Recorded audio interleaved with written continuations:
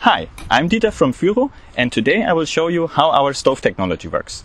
Um, we developed a camping stove that burns wood and that combines a constant output power with a clean flame. And today I will show you how exactly that works.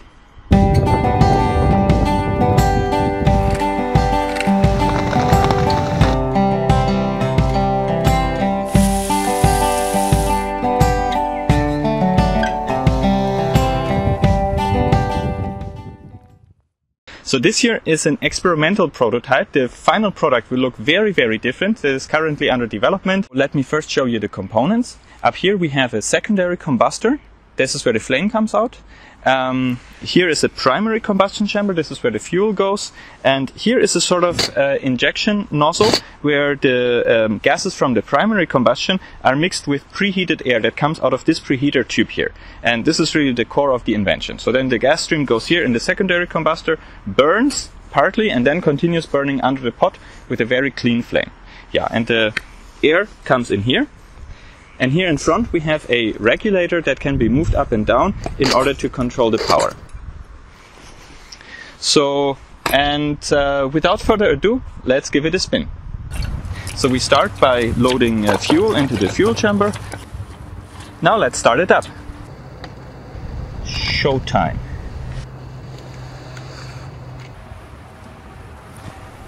Now we could start cooking. The flame is almost invisible because it contains very few soot particles. Now the flame is visible because it contains a bit of soot. Now we can start to throttle the stove. We move the regulator up and the flame gets smaller. You see the flame immediately becomes less visible. The stove can continue burning like this for a very long time. Now the flame has died down because the wood is almost burnt we move the throttle all the way down to burn the embers. Now it will still burn for quite some time. We could still cook on this, um, but with a bit reduced power. Now it has burned out and we can have a look what uh, remained of the fire. You see, only ashes and some tiny pieces of coal. Now that you saw the result, I can explain a bit how this actually works. Um, in the beginning, I would like to give you some background information that I will use in the following explanation. And the first thing I would like to show you is the so-called fire tetrahedron. It contains the four components that you need uh, to uh, sustain a fire. The first thing is oxygen, then you need fuel, you need heat, and you need a chemical chain reaction that keeps the reaction going and continues to produce more heat. And uh, when you just mix oxygen and fuel and then ignite it, you get an explosion. This is what you have in a gas explosion, for example, because the chemical chain reaction can be very fast. Um, uh, when we want to have a controlled fire, like for cooking, we need to limit one of the components so that we restrict the uh, reaction from going uh, overboard. And um, one option is to reduce the fuel, to limit the fuel. This is what's done in a gas stove. So we let a small amount of gas stream out and uh, burn it with the uh, surrounding air. And then we can just uh, control this fuel stream and with that we control the power. Um, the second option is to control the oxygen. Um, this is, for example, used in a, a, wood oven where you load it once with uh, quite a lot of fuel and then you control the fire with uh, controlling the airflow. Um, that brings me to the first problem of cooking with biomass and this is controlling the power of a biomass fire. Um, what uh, happens often is that you go into fluctuating power. And um, the reason here is that all biomass contains some amount of water. Even dry wood has water embedded in the molecular structure. And uh, when you start heating up the wood to burn it, the first thing that happens is that this water is released. And this process consumes uh, quite a bit of heat and it releases water vapor. And both is bad for the combustion. When you look at the fire triangle, it means you remove heat and you remove oxygen, and so that means the fire is quenched. And um, this happens in a in a wood fire um, when you, for example, want to increase power and you keep adding fuel to it. Um, the fuel at first it uh, actually reduces the uh, power of the fire. It might even extinguish the flames, and you get smoke. And uh, what people sometimes do is they keep adding more wood to it um, to increase the power, which of course makes the problem worse and then um, you just fan the flames, you blow into it, and uh, once all the water is removed, suddenly the power increases. The reason is that uh, now there's nothing limiting the temperature of the wood anymore. So that means uh, the temperature drastically increases once the water is removed, and then uh, a process called pyrolysis sets in. Pyrolysis means that the long-chain molecules of the wood, the cellulose and the lignin, they start breaking down into smaller components.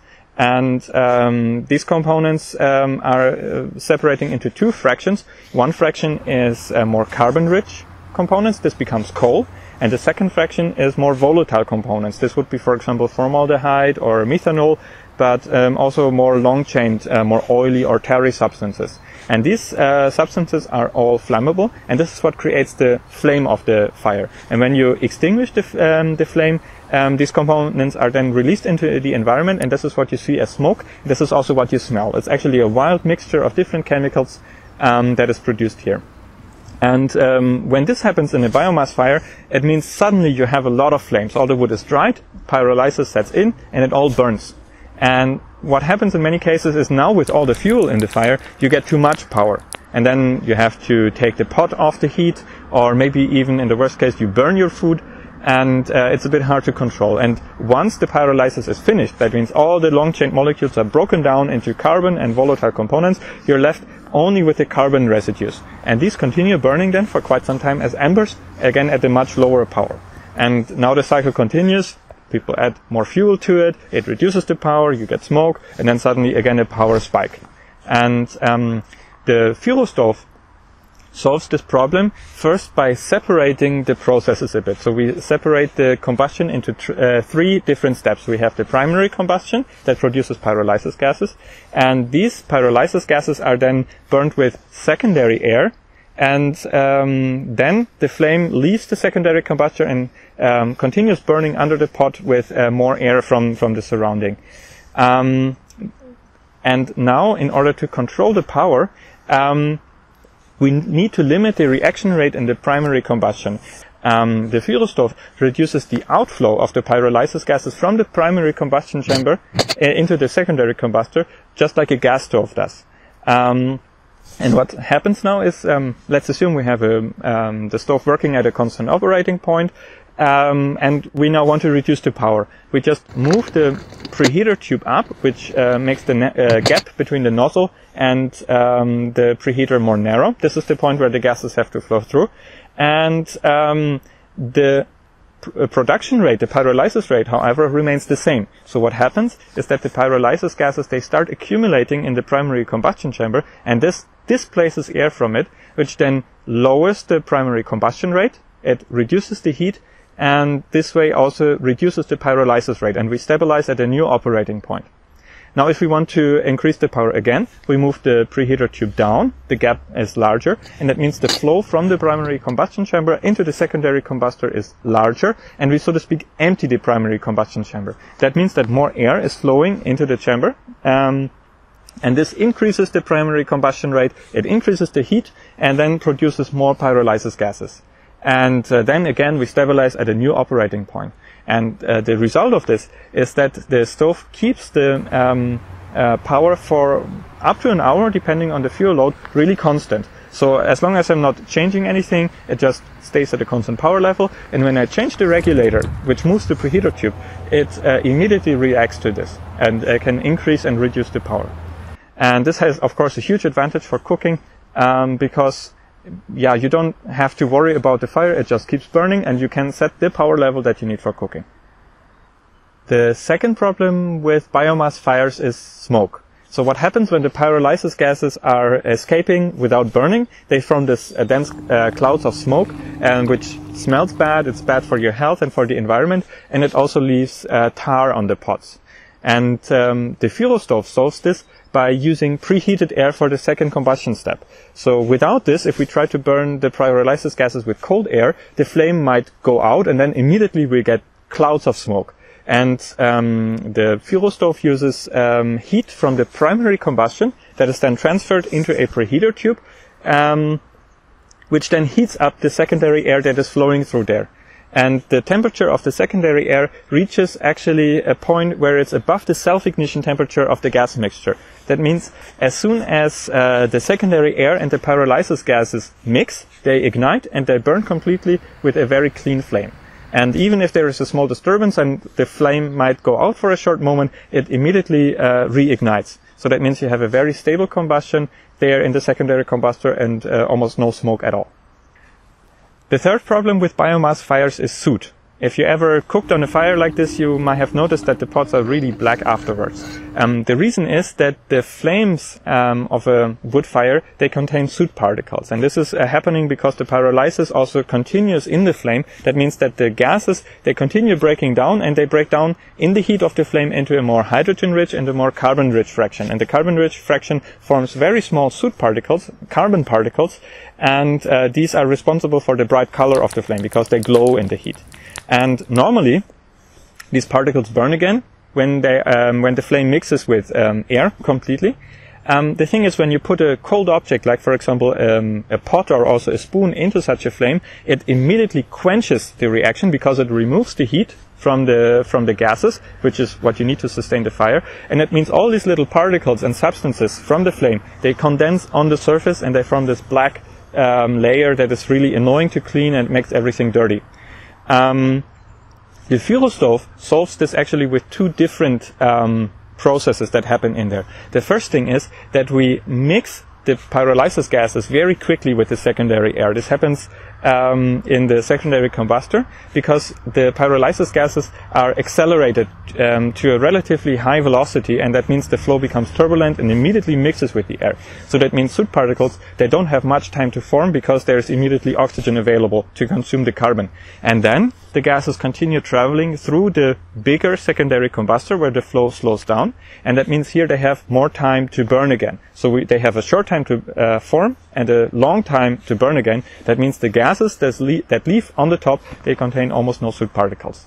Um, the second thing that we do is actually um, uh, driving the pyrolysis a bit um, in a special way. So we have actually uh, partly a two-pass pyrolysis. Not all the gases from the primary combustion go immediately in the secondary combustor, but um, uh, some part of it actually is sucked to the back of the stove and sinks down there because the fuel here is very cold. That means the gases are denser and heavier. They sink down and they flow back um, towards the air inlet.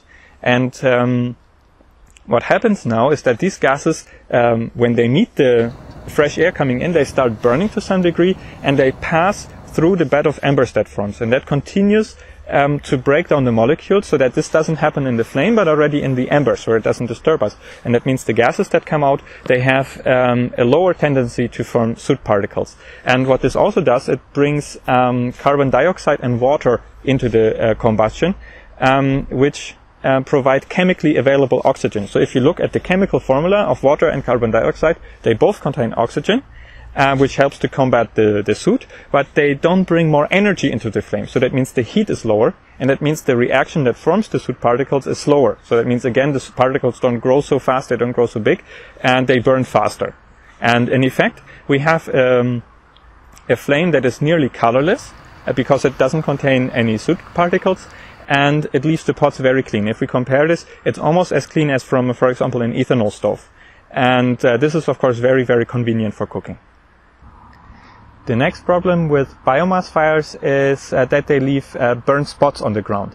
So it um, it takes a long time until these spots vanish because uh, the the soil is really sterilized and um, and infertile, and you also create a fire hazard because the fire might eat into the ground um, and or for example small particles might be blown away by the wind. And the Fyro stove solves this kind of inherently because the fire is contained in the combustion chamber. So it's closed on all sides, has, has insulated walls, and it can be raised above the ground on some feet. And um, that means really that the grass underneath is unharmed and no um, burning particles can escape from there. So I can even turn um, turn a prototype upside down while it's burning and then put it back uh, uh, back on and nothing happens.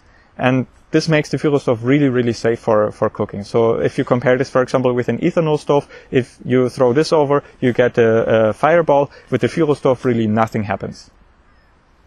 The last problem with biomass fires is uh, frequent refueling. That uh, occurs particularly when you use small biomass stoves that have a small combustion chamber, um, because this small fuel load is used up very quickly, so you have to constantly keep feeding more fuel to the fire. And uh, when you use a stove with a larger um, combustion chamber, actually, in many cases, you can get excessive power. So if you look, for example, at the fire triangle, we have a lot of fuel, we have unlimited oxygen, and that means we can get a rather strong combustion, and again, a relatively short burn time. And uh, the third option is to use larger pieces of wood that burn longer. Uh, it's just that these take a long time to start, so you have to wait until you can cook. The Fyro stove solves this problem um, by uh, having a traveling combustion zone. So it gradually consumes the fuel. We ignite it in a small ignition zone, and uh, then it burns bit by bit until the entire fuel load is consumed. And this is stabilized uh, from what I explained before, the accumulating pyrolysis gases and the backflow. Um, the reason is that the air doesn't even reach most of the fuel until the front part has burned. So then, uh, as the fuel burns, the air reaches deeper and deeper into the stove and then continues uh, to burn um, more parts of the fuel. And in effect, we have a very fast startup in a few minutes because we only need to start a very small portion of the wood. And then it continues burning for up to an hour until the fuel load is consumed, um, depending on the size of the fuel load, of course. And this is very convenient for cooking because you can really focus on your cooking once it's going, uh, and you can regulate the power as you need, and you don't have to refuel it on the way. In summary, we have a sophisticated interplay of uh, physical and chemical effects in the stove that really lead to these uh, outstanding properties, the long burn time, the stable power, the clean, uh, soot-free and uh, smoke-free flame. And uh, the core of the invention is to create this without any sensors, without any uh, flaps or fans or something like this, just with very simple um, elements. So we have a simple combustion chamber, we have a regulator that is just one regulator that we can move, and uh, some rather simple parts. And these create together really these outstanding properties. And um, this design uh, is patent pending, so we have filed a patent application for this. And um, what we are currently doing, we are working with uh, designers and uh, manufacturing experts to move from the um, experimental prototype to a real product. And if you like this video, please um, like and share it. And if you like to follow our progress, you can subscribe to our channel, you can like us on Facebook, and you, uh, you can subscribe to our mailing list. Thank you for watching.